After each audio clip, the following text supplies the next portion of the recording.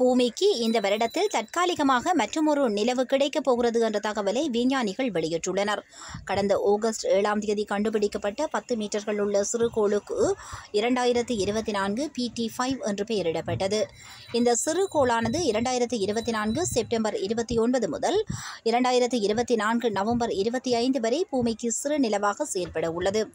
இந்த குறுகிய காலகட்டத்திற்கு மட்டும் பூமியின் புவியீர்ப்பு விசையினால் ஈர்க்கப்பட்டு இந்த சிறுகோள் பூமியை சுற்றும். ஆனால் ஒரு முறை முழு சுற்றை நிறைவு செய்யும் முன்னரே அதாவது நவம்பர் இருபத்தி ஐந்திற்கு பின்னர் பூமியின் புவியீர்ப்பு விசையிலிருந்து விடுபட்டு சூரியனை சுற்றத் தொடங்கும். மிகவும் சிறிய அளவில் உள்ளதால் பூமியை சுற்றும் காலகட்டத்தில் இதை வெறும் கண்களால் பார்ப்பது சிரமம் என அமெரிக்க ஆஸ்ட்ரோமென்கள் சமூக விஞ்ஞானிகள் தெரிவித்திருக்கின்றனர். முன்னதாக கடந்த இரண்டாயிரத்தி இருபத்தி இரண்டாம் ஆண்டு என்எக்ஸ் ஒன் என்ற சிறு நிலவு பூமியை சுற்றியமை குறிப்பிடத்தக்கதாகும்.